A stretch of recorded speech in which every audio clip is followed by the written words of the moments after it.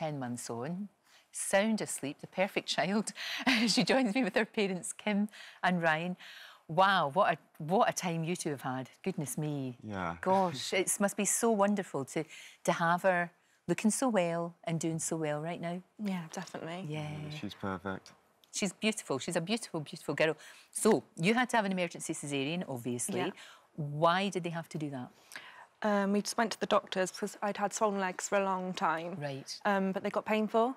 Mhm. So in our lunch break, we just went to go and get it checked out. Right. Where they saw my blood pressure was 185 over 100.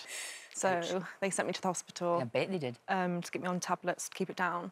So I spent the night there, and the next day they did a scan, which showed she'd stopped growing at 21 weeks, and there was no water around her. Oh gosh. So they knew they had to do something real quick. Well, they said it'd probably be a few weeks, didn't they? Yeah, they said, well, we're thinking of sending you up to Bristol as a precaution. Right. It could be a few weeks. Okay. And uh, God, what a worrying time. yeah, Those two weeks must have been awful. Really bad.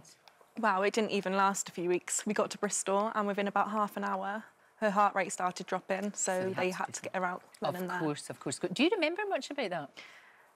Uh, Sort of.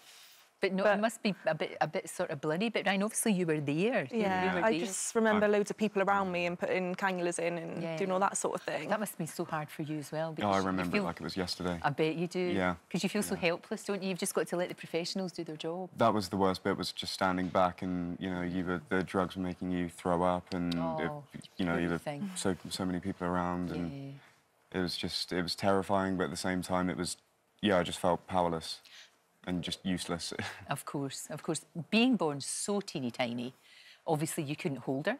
How long did it take for you to be able to hold your baby?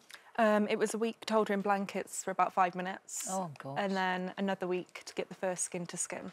Jeez, that's a long, long time. It was that's horrible. so, so difficult. I mean, although you know it's for the best, Yeah. that's really hard. Now, obviously, she had to have a few procedures, didn't she? What did she have to get done?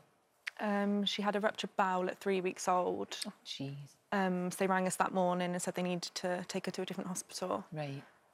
yeah Um, well we basically we missed a call at first because it was about f- quarter to five in the morning Yeah. um, and they said you need to come in and we recommend you just spend a bit of time with her and maybe read her a story because we're going to have to rush her off to another hospital for emergency surgery. So she's had that emergency surgery. She's Yeah. obviously still, as we can see, she's still on oxygen right now. yes. And how long is that going to, that they have to do that? um, we reckon she'll be off by the end of the year. Oh, great. Yeah, yeah. Oh, that's with uh, good.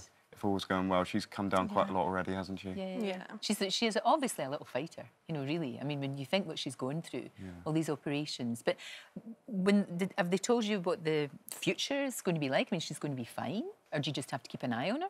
She's doing. Yeah, she's doing she's well. gonna Yeah. be just like any other normal She- child she just needs eventually. catch up. Yeah. yeah. Oh, she will. She'll totally catch up, and she'll. and What a story you'll have to tell her, though. Yeah. You know, when she's older. I mean, it's just absolutely remarkable. It really is.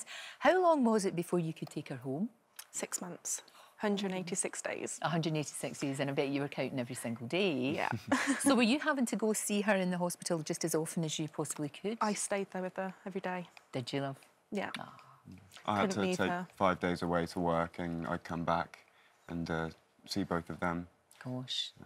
Has it kind of brought you two closer together? You've clearly got a very strong relationship, but something like this sometimes can actually be really hard on couples. I think we went through both. I, th- Yeah. I think we went through everything. Um, it was really hard at one stage. I mean, at the beginning we were so so strong together, and then obviously all that time in the hospital, and me spending time away working, and it, it would Yeah. affect our relationship, and it was really tough time for us. But now again, we're stronger than ever.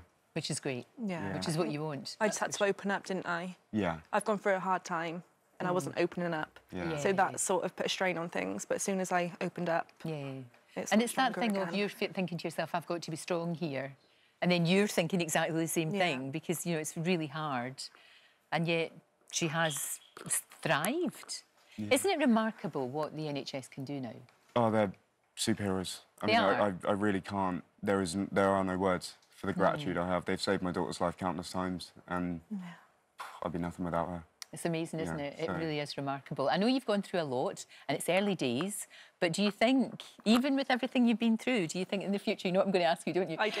a brother or sister for a little one? I've been saying yes. but not until she's at school because we've been told I'm likely to get preeclampsia again. Oh, of course. Um, so then if we had the NICU thing happen again, at least I could be with the baby when she's at school in her in the evening. I understand. So yeah. she's already got everything planned out. It's all sorted. Yeah, It's I'm not planned. It's thinking anything planned. about that. I know. I think she- it'd be nice for her to have someone, Yeah, of but course if it we got a second, that's it. I wouldn't risk a third. Yeah. You've been through Yeah. such a lot for her. She's incredible. And as you said, the, the NHS are, are extraordinary. yeah. They do they do great things. They They really do. They are. She shouldn't be here, realistically. No, but I know. she is It is somehow. remarkable. it, it really is extraordinary. I've never known anybody, you know, so so tiny to survive so well. Yeah. She's great. Thank you. Thank for you. bringing it in. Thank you so, so much. Great to see you. And as you said, the NHS are amazing. I have to say hello to everybody in Ward 12, here Mary's Hospital, who are looking after my daddy. Ah. Ah. And they're just great. They really are. Above and beyond the call of duty. They're fantastic. Definitely. Thank you very much indeed.